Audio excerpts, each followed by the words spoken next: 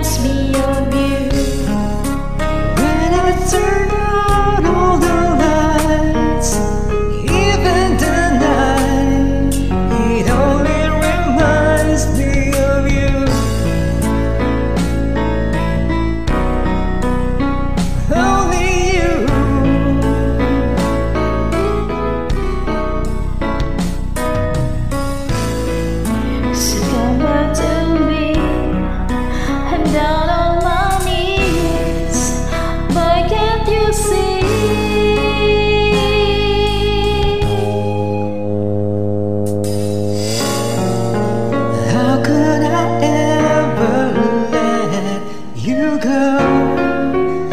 Is it too late to leave?